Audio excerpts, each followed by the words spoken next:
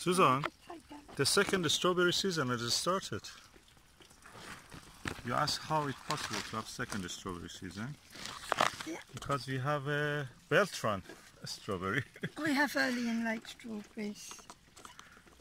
Early, mid and late, aren't they? They call you. Um, yeah, and this Beltran is one of the best because it's drought hardy. You can grow it at top. I got the roots.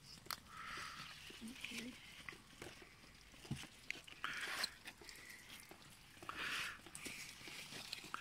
Oh, here. More here.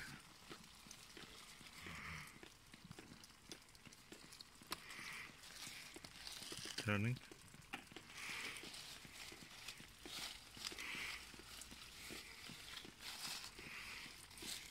Speltron is one of the best. It's so drought hardy. And when they're established and designed now in their second year, they really do well.